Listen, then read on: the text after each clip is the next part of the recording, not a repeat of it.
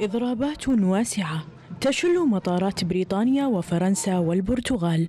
ففي مطار هيثرو ببريطانيا بدأ موظف الحراسة الأمنية إضرابا عن العمل لمدة عشرة أيام بعد فشل المحادثات بشأن التوصل إلى تسوية لأجورهم وأعلنت إدارة المطار إنها استبقت الإضراب بخطة طوارئ تشمل توظيف نحو ألف موظف إضافي والاستعانة بالعاملين لديها للتخفيف من تداعياته. وقال المدير التنفيذي لمطار هيثرو إن العمل في المطار يسير كالمعتاد.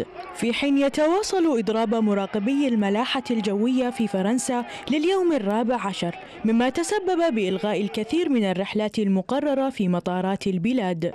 في وقت تعيش فيه فرنسا على وقع احتجاجات ومظاهرات نقابية ضد قانون رفع سن التقاعد في عدد من المدن الفرنسية وعلى رأسها العاصمة باريس. كما تتواصل الإضرابات التي شملت قطاع السياحة والقطاعات العمالية والتعليمية كافة. الأمر ليس بعيدا عن البرتغال التي شهدت إضرابا لثلاث أيام للمطالبة بزيادة الأجور. ما أدى إلى إلغاء أكثر من سبعين رحلة حسب معلومات مطارات البرتغال التي نصحت الركاب بالاستعلام قبل التوجه إلى المطار.